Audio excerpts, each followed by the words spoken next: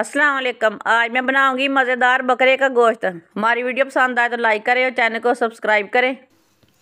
छोटी प्याली, आयल डाल लेंगे। आयल अपने हिसाब से डाल लेना। कोई ज़्यादा भी खाता है, कोई कम भी खाता है। एक चमची साबुत ज़ीरा।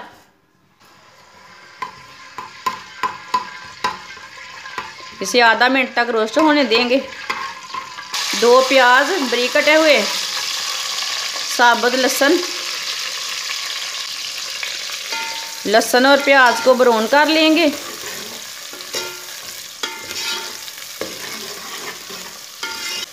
लहसुन और प्याज को मीडियम आँच पर ब्राउन कर लेना।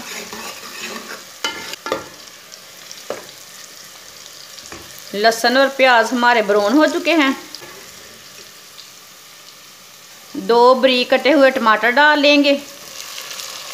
तीन सब्ज़ी मिर्चें डाल लेंगे।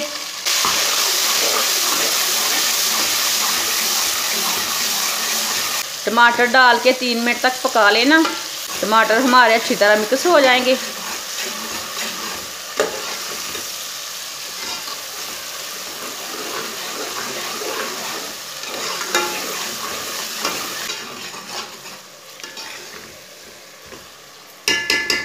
एक चमच अदरक का पेस्ट डाल लेंगे।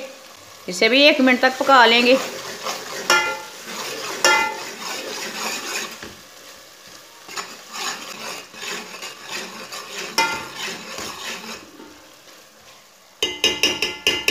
आधा चम्मच नमक डाल लेंगे। आधा चम्मच पिसी हुई लाल मिर्च। आधी चमची हल्दी पाउडर।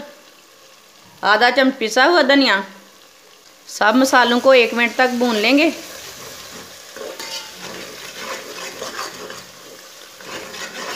लहसुन हमारा अच्छी तरह गल चुका है, आप देख सकते हैं।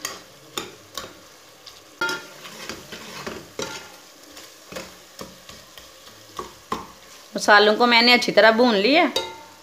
थोड़ा सा पानी डाल लेंगे।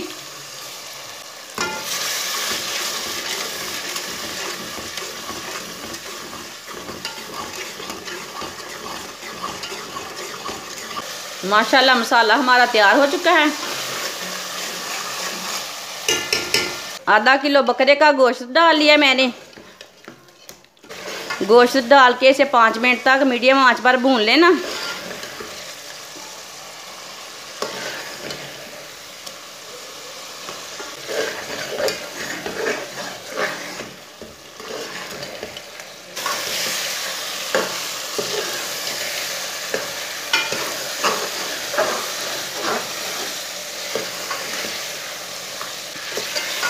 इसे मैंने पाँच मिनट तक भून लिया।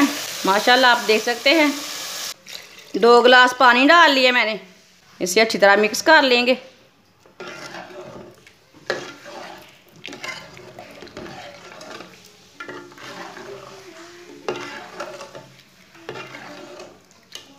इसे आधा घंटे के लिए हल्की सी आँच पर ढक्कन लगा देंगे।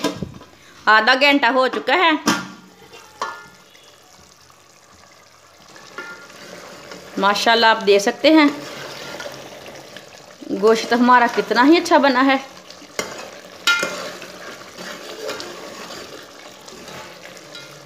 सब्ज धनिया डाल लेंगे।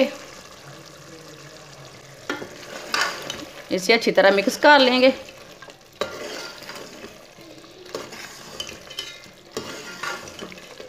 गरम मसाला डाल लेंगे। इसे भी अच्छी तरह मिक्स कर लेंगे।